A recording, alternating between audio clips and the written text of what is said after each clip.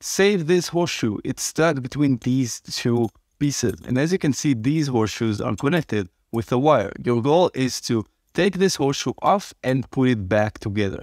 Now, what happens if you try and pull it from the side is it's just too big to pass. And no matter how you do it and how you rotate it, it still won't pass.